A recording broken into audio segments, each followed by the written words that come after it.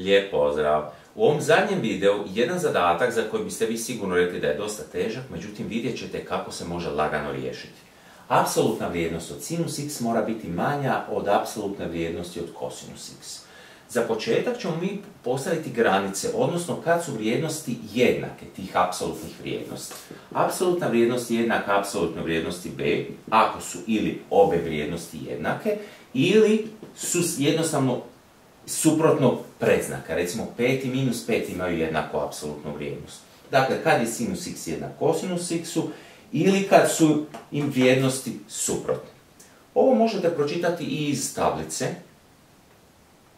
Iz, imate tablicu sa vrijednostima sinusa i kosinusa. Nađete kut kad su vrijednosti jednake.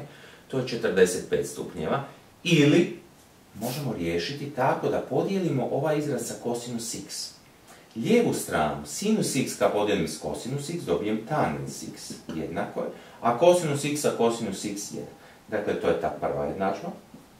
Kad je tangens x jednako 1, u pi četvrtina ili 45 stupnjeva i ponavlja se svako k pi, k element z. Analogno tome riješimo ovo, sinus x je minus kosinus x, dobit ćemo rješenje x je 3 pi četvrtine ili minus pi četvrtine, svejedno je, plus k pi k element z. Što sad?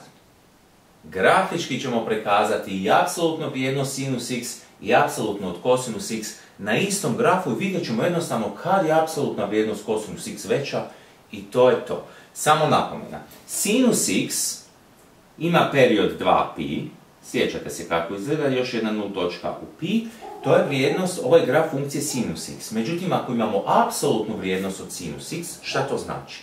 Vrijednosti, odnosno rezultati funkcije su uvijek veći ili jednako od nule. Dakle, ovaj ovdje dio se preslika gore. Znači, ovaj koji je pozitivan, znači iznad os x, ostaje takav. Znači, od 0 do pi je prvi brijeg. Pa još jedan. Zato što se ovaj negativni izgubio i prešao gore. Znači, apsolutna vrijednost od sinus x vam izgleda ovako. Ovdje je 1 minus 1, znači idemo ovo brijeg prema gore. I sad ovaj koji bi išao dole se preslika opet prema gore, pa opet prema gore, gore i to je to također. I ovdje.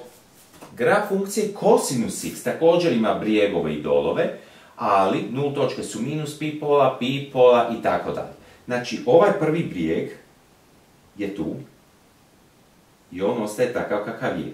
Ovaj drugi koji je bio dole, ako se radi o funkciji kosinus x, to je to, ali ako je apsolutna vrijednost, sve negativne vrijednosti se preklope postanu pozitivne i dobijemo ovako.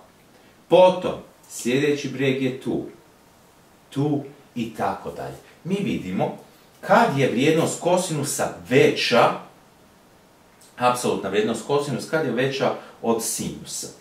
Zeleni nam je sinus, crveni je kosinus. Evo, meni je, ja ovdje lijepo vidim da je ovdje kosinus veći. Tu, znači od ove vrijednosti do ove. Potom se opet ponavlja tu, od te do te. Znači, taj dio, taj dio, taj dio, ovo je početni dio. Sad koji ću uzeti kao prvi svejedno je, mogu uzeti ovaj ili ovaj? Mogu ovaj. Znači, to je ova točka ovdje ispod pi. Prvi put kad se sjeku, to je ovaj, to su ove 3 pi četvrtine. Do, ova ovdje vrijednost je 5 pi četvrtina. Vidite ako je tu pi, 2 pi, ovdje je 1,5 pi i ovo je 5 pi četvrtina. I pišemo konačni rezultat. x je element od, ako je znak strogo manje, onda su i zagrade takve špicaste. Od 3 pi četvrtina plus, vidjet ćemo koliko, znači svako koliko se to ponavlja, do 5 pi četvrtina. Ovako. Prvi početak je dakle ovdje u 3 pi četvrtine. Znači nešto prije pi počima. Onda ovaj drugi interval počima nešto prije 2 pi, pa treći nešto prije 3 pi. Vidite, svako pi se ponavlja, znači plus k pi, plus k pi, zarez k element iz z.